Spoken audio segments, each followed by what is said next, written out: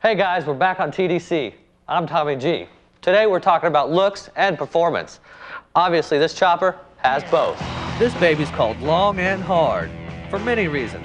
It's 10 feet from rubber to rubber. The forks have a 52 degree rake and are 18 inches longer than stock. Old school since there's no rear suspension. But with a fully modern 100 cubic inch RevTech V-twin.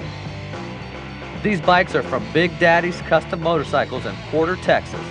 They build one-of-a-kinds to order, with prices ranging from 18 grand to 40,000.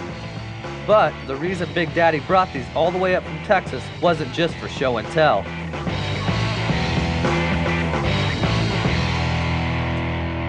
We're going to compare synthetic-based lubricants versus traditional motor oils by running both through the bike. And we're going to check temperature differences with a really cool infrared camera.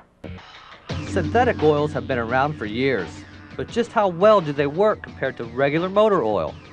We'll use a thermal imaging camera to record engine temperatures and show us hot spots with and without synthetic. Since everything looks okay, let's get started. This fan will prevent our idling bike from overheating.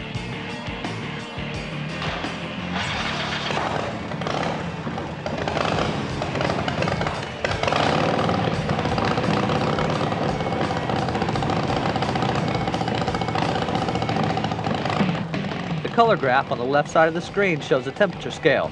We've sped it up so you can actually see the engine get hot. Once the oil reaches operating temperature, I'll record the first reading. With the bike cooled down, I'll drain all the conventional motor oil completely out of the engine and out of all the lines. Then put in synthetic. We're using Royal Purple's Max Cycle. It's been tested against other synthetics and showed meaningful gains in horsepower. Now let's see how it compares with regular oils. Remember, this test is being done at idle. If this bike was under a load, you'd see greater temperature differences at higher RPM. With the oil back at operating temperature, I'll grab a freeze so we can analyze the results. Image number one is conventional motor oil. We took measurements at the exhaust port area of the heads and between the cylinders.